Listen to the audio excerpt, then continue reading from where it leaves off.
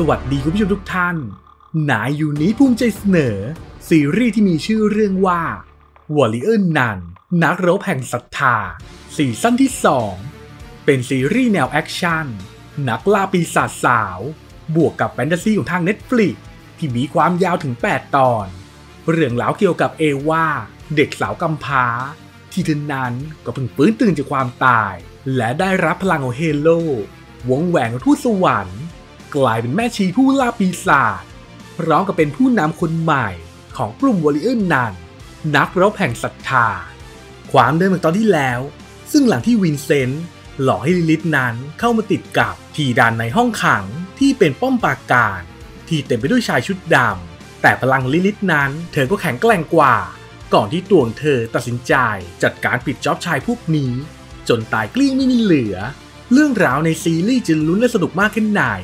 ไปติดตามรับชมพร้อมๆกันได้เลยครับถ้าเพื่อนๆคนไหนที่ยังไม่ได้กดติดตามมันจะช่องยูนีช่วยกดกระหนึ่ง subscribe เป็นกำลังใจในการทำคลิปซีรีส์ตอนต่อไปผมด้วยนะครับ ตอนที่ 2 ซึ่งหลังที่ลิลิตเธอสามารถจัดการฆ่าปิด job ลูกสมุนของวินเซนต์ทุกคนได้สำเร็จแล้ว ส่วนตอนนี้ทางด้านมิเกล เขากับพานางเอกเบียทิสออกเดินทางมุ่งหน้า มาดูพวกคลั่งลัทธิ และทันทีที่มาถึง พวกเธอก็พบว่าเหมือนก็มีชายกลุ่มหนึ่ง ที่กำลังยืนอยู่ที่ด้านหน้าของพวกเธอ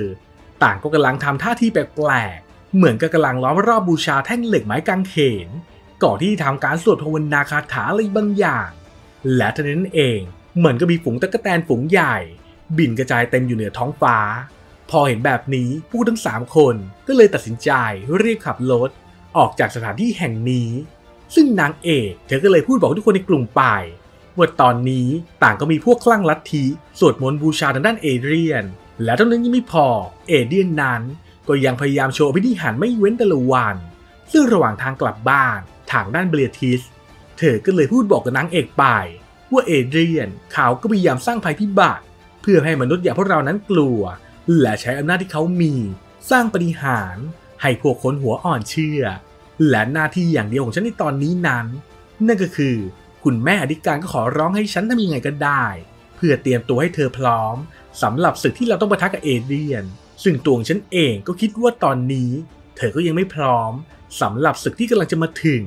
แถมเบลียทิส เธอก็ยังพูดบอกต่ออีกว่ากลุ่มสมาริตันที่เธอก็กำลังคุยด้วยอยู่ในตอนนี้นั้น มันก็ชื่อน่ารักดีนะ แต่พวกเขาก็เป็นได้แค่มือสมัครเล่น และงานงานนี้ มันก็ยังอันตรายเกินไป ที่จะดึงมนุษย์ธรรมดาจากพวกเขา เข้ามาเกี่ยวข้องกับเรื่องพวกนี้ และภาพก็ตัดมาที่คุณแม่อธิการ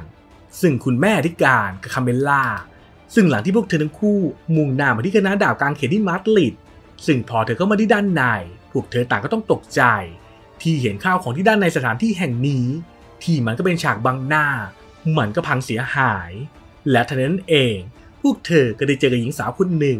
ที่ชื่อว่ายาสมินแอลมูเนตซึ่งเธอก็เลยพูดบอกคุณแม่อธิการไปว่าเธอนี่แหละที่เป็นคนส่งสัญญาณขอความช่วยเหลือเรียกไป ก่อนที่ยิงด้านยาสมิน เธอจะพาทุกคนนั้นเดินลงมาที่ด้านล่าง ที่เป็นสถานที่ลับของคณะดาวกลางเขนที่มาดริดซึ่งนั่นมันจะทำให้พวกเธอ ต่างก็ต้องโศกเศร้าเสียใจ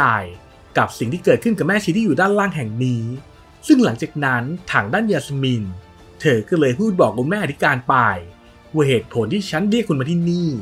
นั่นก็เป็นเพราะว่า ฉันก็มีบางสิ่ง ที่จะพูดบอกกับแม่ชีนักรบ ที่ได้ครอบครองวงแหวน Halo และภาพก็ตัดมาที่บาร์ของเบลียทิสซึ่งหลังที่เช้านี้มิเกลเขาก็กลับมาหานางเอก ที่ร้านตั้งแต่ช่วงเช้าตรู่ก่อนที่พูดชวนนางเอกกับเบลียทิสนั้น ไปดูสาวกของเอเดียนคนหนึ่ง ที่กลุ่มของเขานั้นก็ได้ทำการจับสายข่าวของเอเดียน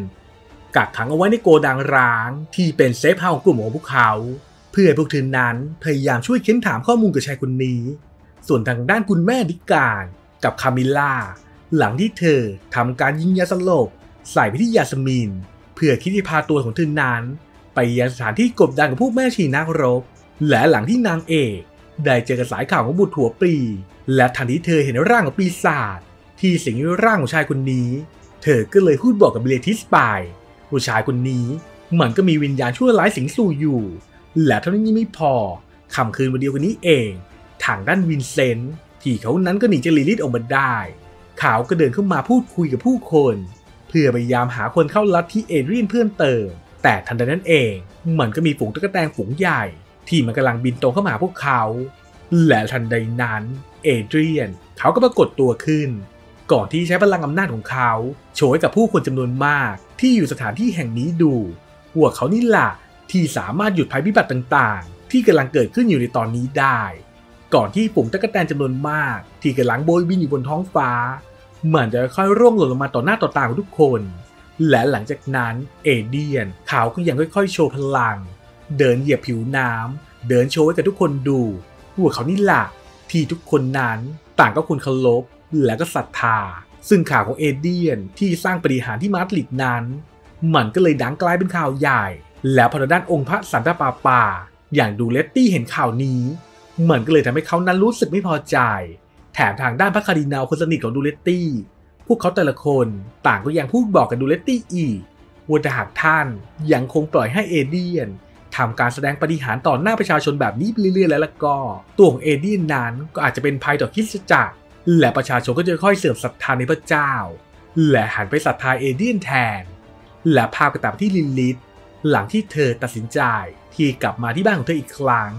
แต่พอเธอเจอแม่ของเธอ พอแม่รู้ว่าลินลิทเธอก็ไม่ได้ถือครองเฮโล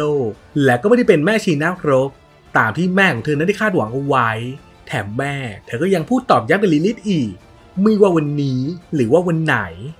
แกก็คงไม่มีวันได้เป็นแม่ชีนักรบ ตามที่ฉันต้องการ และพอด้านลินลิทเธอถูกด้อยค่าจากผู้ที่เป็นแม่ มันก็เลยทำให้ตัวเธอนั้น ก็รู้สึกเจ็บปวดยิ่งนัก ส่วนตอนนี้หลังที่คุณแม่ธิการผ่านทางด้านยาสมิน มาที่แหล่งกบดานของพวกเธอยาสมิน เธอก็เลยพูดบอกกับทุกคนไปว่าหน่วยงานของเธอนั้น ก็เป็นหน่วยงานเสริมของคณะดาวกลางเขน และผู้ที่ก่อตั้งหน่วยงานนี้ เธอก็คือแม่ชีนักรบที่ชื่อว่าโคราผู้ที่สืบทอดของอาริล่าโดยตรง และฉันก็ได้ทำการสาบานเอาไว้ตั้งแต่เกิดว่าถ้าหากเอเดียนกลับขึ้นมาเดินดินอีกเมื่อไหร่ พวกเราก็จะต้องบอกความลับให้กับผู้ที่ครอบครองเฮโลผลล่าสุดโดยตรงรู้ ซึ่งพอได้ยินแบบนี้ คุณแม่ดิการ เธอก็เลยพูดสั่งให้คามิล่านั้นทำการเรียกนางเอกให้มาพบ ส่วนทางด้านกลุ่มของมิเกล หลังที่พวกเขาพยายามซักถามชายคนนี้ เขาก็พูดถามกับนางเอกไป ว่าเธอก็รู้ความจริงทุกอย่าง เมื่อสองเดือนก่อนหน้านี้ เธอเองก็อยู่ที่กรุงวาติกัน แถมในขณะที่ชายคนนี้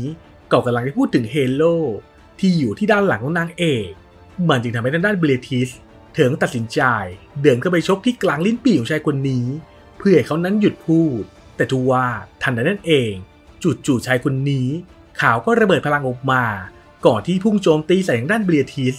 จึงทำให้นางเอกเธอต้องรีบเข้ามาช่วย ก่อนที่พวกทั้งคู่จะทำการบู๊ต่อสู้กันและหลังที่นางเอกตัดสินใจ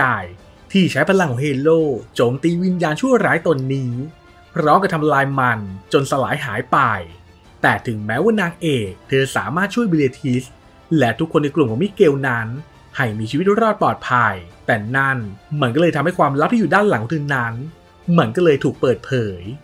และพากันตัดมาที่กรุงวาติกัน ซึ่งวันนี้เองทางด้านเอเดรียน เขาก็ตัดสินใจ ที่เดินมาพูดคุยกับดูเลตตี้เป็นการส่วนตัว ก่อนที่เขาจะพูดบอกกับดูเลตตี้ไปว่าข้าก็ต้องการให้สถานที่แห่งนี้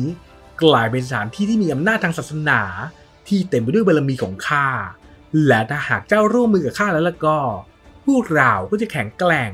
และก็ไม่มีใครนั่นไหน ที่สามารถล้มล้างพวกเราได้ แต่ทว่าพอเอเดียนเขาเห็นท่าทีและก็การกระทำของทางด้านดูเลตตี้ ที่ตอนนี้เขาก็ทั้งแข็งกระด้าง และกล้าที่จะท้าทายอำนาจของเขา เขาก็เลยตัดสินใจที่โชว์พลังของเขา ให้กับทางด้านดูเลตตี้ดู ก่อนที่พูดทิ้งท้ายเอาไว้ว่ายังไงข้อเสนอที่ข้าให้เอาไว้นั้น มันก็ยังคงอยู่ ยังไงเจ้าก็ลองเก็บไปคิดดูก็แล้วกัน ส่วนตอนนี้พอทางด้านลิลิตเธอออกมาจากบ้านของเธอแล้ว เธอก็ตัดสินใจที่ไปขอร้องให้ดร.จิลเลียน ช่วยทำการศึกษาบาดแผลที่เกิดขึ้นตามร่างกายของเธอ และหลังที่กลุ่มของแม่ชีนักรบทุกคน ได้รับสัญญาณเรียกตัวของคามิล่า เพื่อพวกเธอทุกคนที่ได้รับสัญญาณนี้ ต่างก็ไปรวมตัวกัน ซึ่งข้อความที่อยู่ด้านในนี้ มันก็บ่งชี้ไปที่พิกัดที่มาดริดสถานที่ที่ทางด้านคุณแม่ดิการกับทางด้านคามิล่าอยู่ ซึ่งนั่นมันก็รวมถึงสร้อยคอรูปไม้กางเขน ที่ทางด้านวินเซนต์ห้อยติดตัวไว้ด้วยเช่นเดียวกันเหมือนที่ทำให้ตอนนี้ เขาและก็เอเดรียน ต่างก็รู้ทันที ว่ากลุ่มของแม่ชีนักรบทุกคน ต่างก็กำลังมุ่งหน้าออกเดินทางไปที่มาดริด และตอนที่ 2 ก็จบลงเพียงเท่านี้ครับ ถ้าเพื่อนๆอยากรับชมตอนต่อไปของซีรีส์เรื่องนี้แล้วก็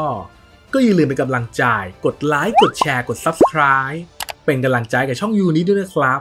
สำหรับวันนี้ สวัสดีครับ